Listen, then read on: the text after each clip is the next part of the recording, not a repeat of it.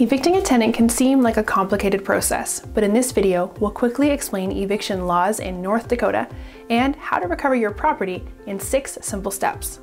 First, what is an eviction? Eviction is the process of legally removing a tenant. It's illegal for a landlord to change locks or physically remove a tenant themselves. So if the renter refuses to leave after violating their lease, you must seek an eviction from the court. The process for simply terminating a lease differs from that of an eviction.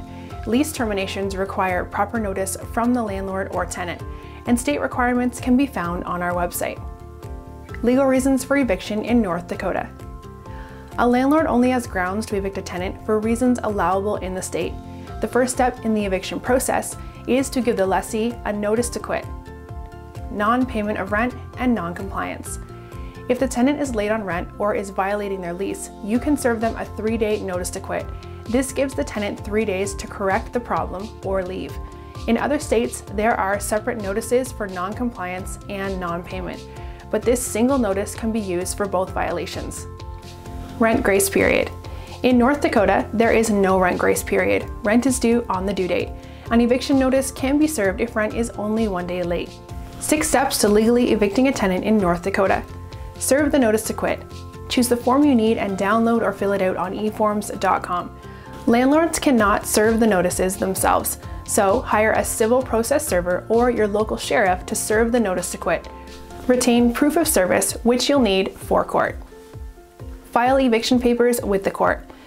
If the tenant hasn't mitigated the issue in three days and remains on the property, you can proceed to court, file a complaint and summons in the local district court in the area in which the property is located.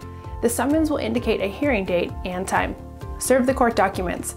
The tenant now needs to receive the information about the case filed against them, which should also be done by using either a process server or the Sheriff's Department to serve the complaint and summons on the tenant.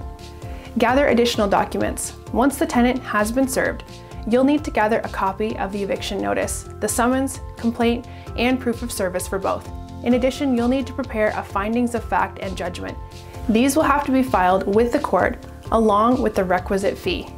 Attend the hearing. The court will set a hearing date where the judge will reach a ruling.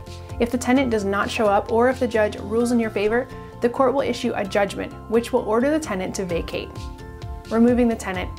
If the tenant is ordered to leave and they still remain on the property, you may seek a writ of eviction from the court which will allow the sheriff to remove the tenant from the property.